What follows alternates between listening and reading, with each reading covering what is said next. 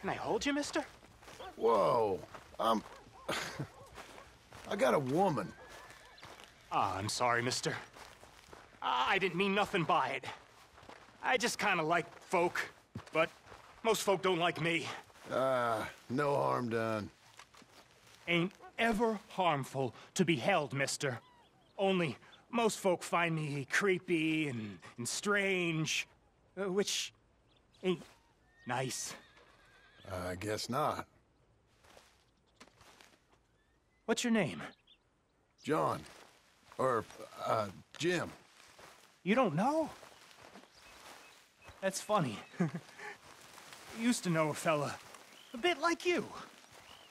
A few years back. Crazy kind of fella.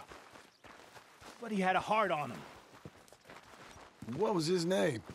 I forget. Funny face. Alan.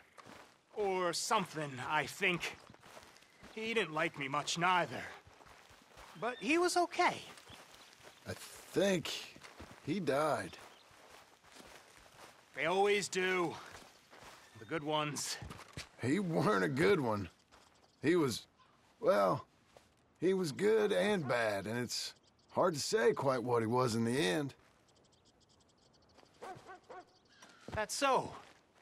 Sure. That's so. I can kind of see that. Well, it's been fun talking, mister. My name's Mickey.